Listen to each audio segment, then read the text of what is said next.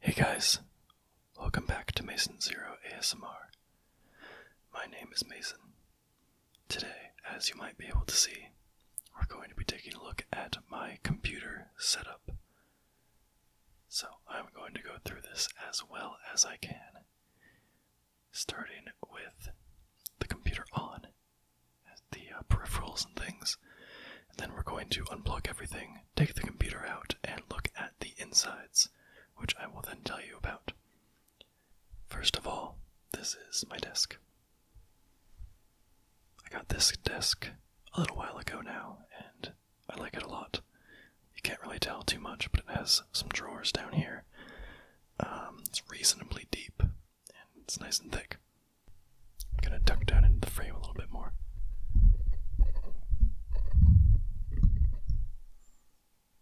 Hey guys, can you see me better now? so, so yeah. Anyways, my desk. This is the mic stand I normally would use for filming ASMR videos. It extends like this, and I would usually have it in there and then extend it out like this, and the microphone would be over my keyboard.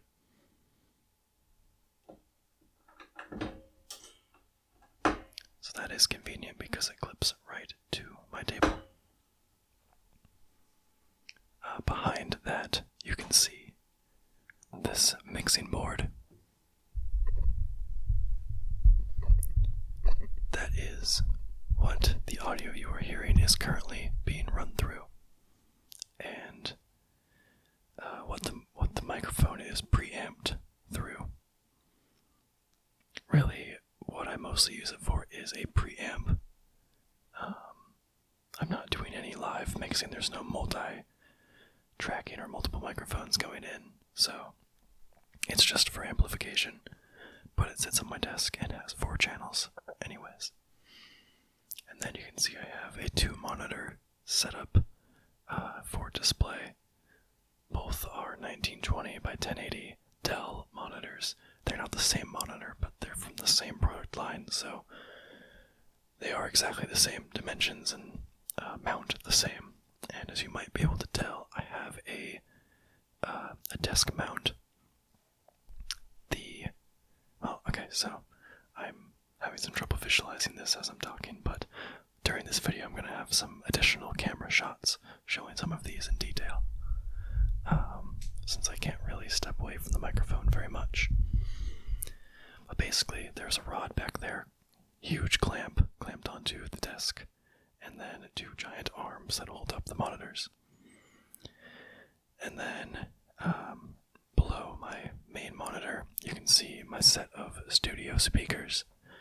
Those speakers are absolutely incredible. I love them.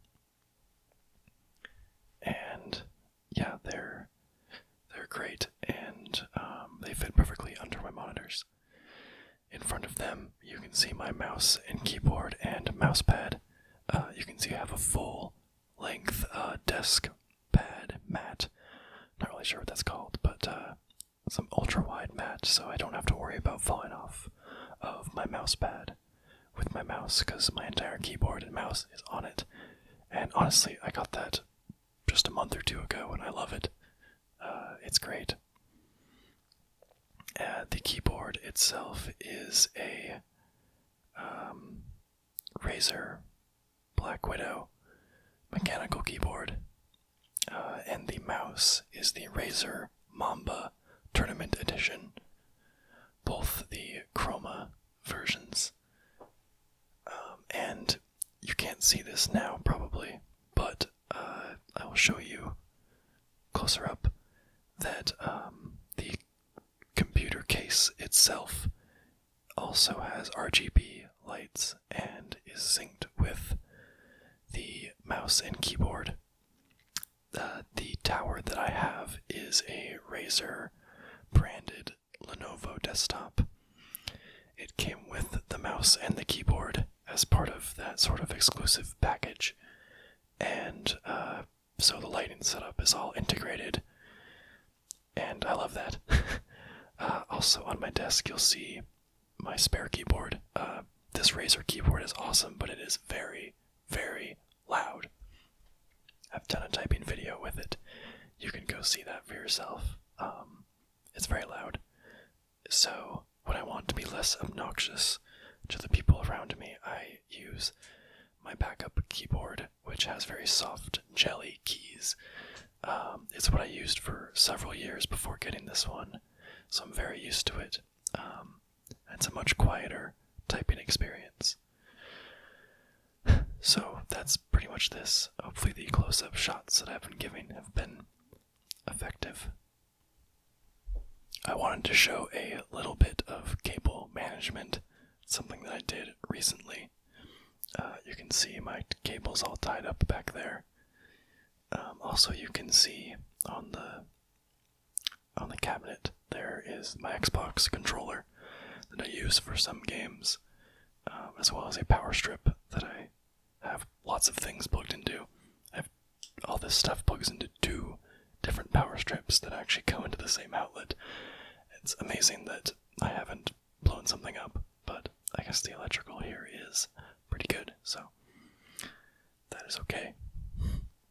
Uh, since I am going to be turning this computer off and taking it apart for you guys, uh, I do have my laptop as uh, what this audio is being recorded into. So, this cable you see in front you coming down from this power strip is to my laptop.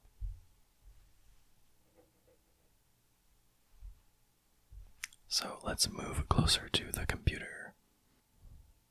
So, here is the desktop itself. The computer here is a pre built computer. It's my first desktop, so I decided to play it safe and just buy it pre built instead of building it myself. Although I do already have plans to upgrade certain parts in here, which I'll talk about later. But I just wanted to have one big thing that had everything already ready to go. So, this is the Lenovo IdeaCentre Y900 Razer Edition. The Razer Edition doesn't add a lot. Um, I think some of the hardware inside is possibly slightly better than their standard edition, but then it also comes with the mouse and keyboard and the lighting system, plus a Razer Edition like logo thing on it. Either way, um, it was heavily on sale when I bought it. Um, as far as hardware, it has a um, Intel i7 6700K processor, which is not ideal. One of the things that I will be changing uh, within the year probably is I'll be changing the motherboard to support um, 8th gen processors, and then I'll be buying the uh, the i7 8700. Uh, additionally, for the graphics card, I have the NVIDIA GTX 1080 Founders Edition. So, the original NVIDIA card in there, which is fantastic. Uh, I believe 16 gigabytes of DDR4 RAM. Um, so, with that graphics card and the other hardware, um, you know, it, plays games pretty darn flawlessly. I really can't complain. Um, so I'm very happy with my purchase. Uh, I'm trying to think if there's anything else. So yeah, 16 gigabytes of DDR4. Uh, for the hard drive, it has a 2 terabyte, 7200 RPM uh, standard hard drive, and then a 256 gigabyte solid state drive. It is 23.1 pounds, and uh, yeah, it shows, but does have this convenient handhold. Uh, and then, nice for me because I'm the router is on the other side of the room, is that it has Wi Fi. Um, it's not that crazy of a thing, but it's a small thing that I appreciate a lot. Uh, it does have a technology that supposedly makes your internet connection on this computer better if you use Wi-Fi plus um, plus LAN.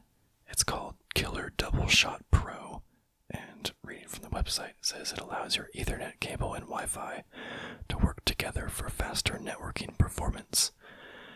However, that doesn't really matter to me because my Wi-Fi consistently has um, just shy of 100 uh, megabits per second uh, upload and download.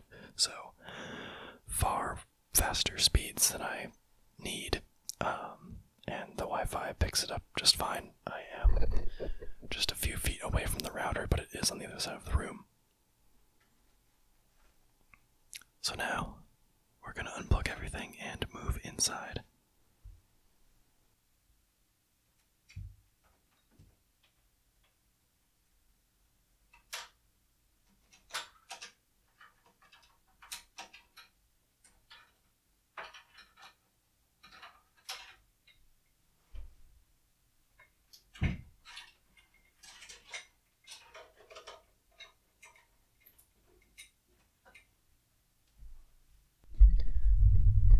So, firstly foremostly, I should point out that while I have this out, I'm going to vacuum it.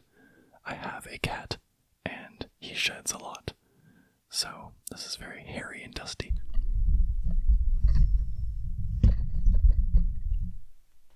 So, I'm going to quickly show uh, the various sides of it.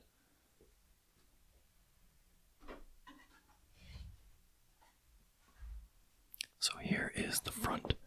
We have the SD card reader. We have four USB ports. Two of them are USB 3.0. Uh, of course, they are Razer green ports, naturally. And then we have audio input and output, um, but I use the main ports in the back for that. And then we have the CD DVD drive. And that would open up with this button right here, which is nice and subtle. Then the power button is up here. Uh, unfortunately, because my cat likes to jump on here and step on it occasionally. So, so here in the back, we have the main fan back here. Uh, down here is the power plug, of course. We have some USB ports up here. This old style mouse keyboard plug HDMI, DVI, and uh, what's the one? Uh, VGA are all here, and they all have these little covers, which is cool. That's the main uh, display outputs from the motherboard. We have four more USB ports. I believe they're all USB 3.0. We have the Ethernet port. We have all of the audio inputs and outputs. Um, and then here is the graphics card ports, um, which we have one HDMI and three display ports, and then I believe that's another uh, DVI. So that's the back. Lots of stuff going on. So now let's crack it open. So to open the case, I just pull this and press this down. And then just take it off. Very easy. So as you can see, there's a clear panel, which normally the graphics card would be shining through. So, I'll show you what's going on in here. So, the first thing you'll notice is, of course, the GeForce GTX logo here. That is our NVIDIA GeForce GTX 1080 graphics card, which is the insane beast that makes this such a great gaming computer. This thing is huge. That must be like 8 inches long, it, at least. Or 10. It's, it's crazy. Um, someday it'd be cool to have two of them, although they did just announce the RTX series of cards. So maybe someday I'll upgrade to that. down here we have the absolutely massive power supply. I don't really know what to add on about that, but there it is. We have a giant fan here, and of course the fan in the back. Down here you can see the uh, hard drives. I'm actually not 100% sure where the solid state drive is. I don't really see it, but that is the main 2 terabyte hard drive. And then, of course, we have the motherboard back there, and a whole jumble of wires going to everything. These guys aren't even connected to anything. Um, I believe those are additional um, plugs for more graphics cards. Um, I'm not sure exactly what kind they are, if they're PCIe plugs or what. Um, but there we can see that one plugged in.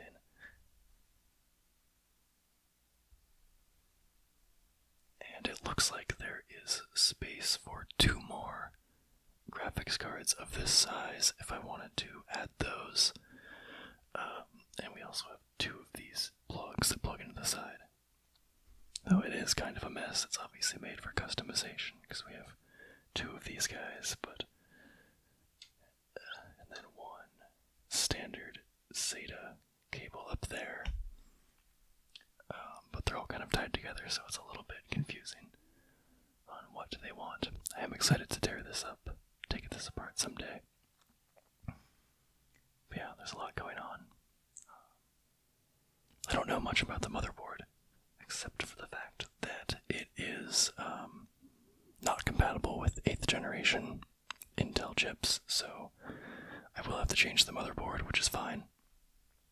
But this motherboard doesn't have a lot of documentation because it's just a Lenovo pre-built one. Like, there's nothing. It's not a consumer one that you can just buy normally. And then back here you have the two large uh, 8 gigabyte RAM sticks inserted into the motherboard. And then, of course, behind this giant fan, there's the heatsink for the CPU and, of course, the CPU itself. Obviously, I'm not going to show you that because that'd be a lot of work to take that out. And, um, again, for the RAM, um, there are four slots for RAM. Um, two of them have RAM chips in them, so there's a lot of room for upgrades on this computer, uh, even with the stock motherboard. So while I would like to upgrade the chip, if I choose not to, there's a lot of room for customization. You know, like I said, up to 32 gigabytes of RAM if I wanted to double the RAM, and up to, I think, two more graphics cards, which one more is already overkill. Adding two more would be extremely overkill. So that won't happen. Um, but yeah, honestly, I'm not quite sure. A lot of the stuff going on in here. There's another rack for a uh, like a disk disk drive, but I don't think I'll be adding a second one. Um, barely used this one, to be honest. And I believe there's also room for another hard drive, which I don't really need, but uh, it's nice that there is an option for it. Actually, I believe there's room for three more hard drives. There's this space up here, which this SATA cable that you can't really see would go to, I believe. And then this hard drive down here has two more SATA cables and two more bays for hard drives. I actually do have a couple extra hard drives that I could always toss in here if I wanted to, although I'd have to double check that they were compatible, but um, regardless, they're there. Anyways, there's not much more I can say about this. This is a beast of a computer. Um, full price, I think it was $2,500, and I got it for $1,800, which at the time, given graphics cards prices, was pretty good. The graphics card itself, this one at the time was, I think, 900 to $1,000 if you wanted to buy it, since it was the cryptocurrency craze. And with all the other parts, it would have been pretty much a break even if I had purchased all of the parts separately and assembled it myself, which would have been very difficult. So, thank you all for watching this video. Uh, I'm going to end it here just because I don't have much else to add to the conversation. If you are more of a computer person, please let me know any questions you have about this device, any recommendations you have for adding more to it, and uh, yeah, leave your comments in the description or leave your comments in the comment section. Immediately after filming this, I am going to go vacuum the crap out of this thing because there is a lot of dust in it. And I'll keep you posted if I uh, make any updates to it. So thank you very much for watching, and I will see you in the next video. Bye bye.